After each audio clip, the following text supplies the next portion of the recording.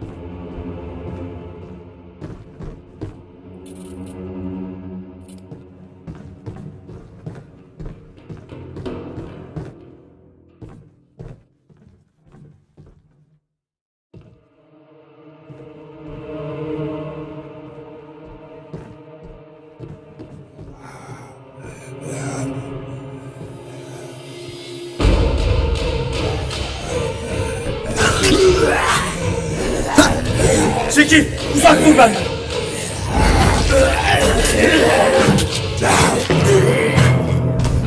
Hayır.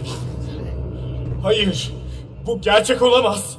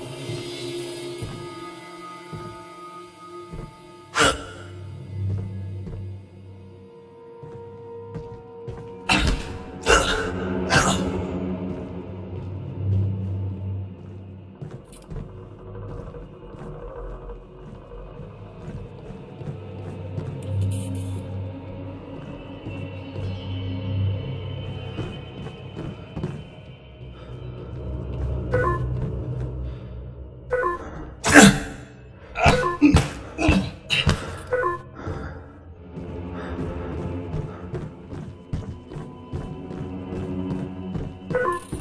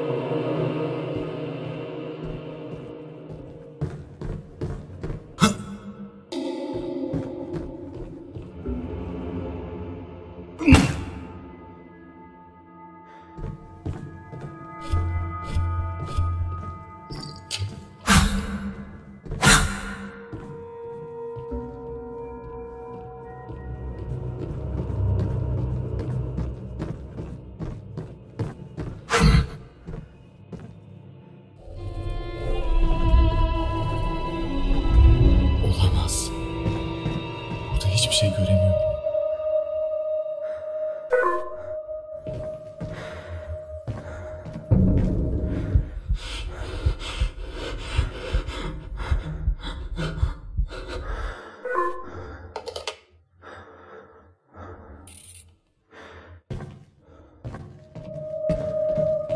Hey,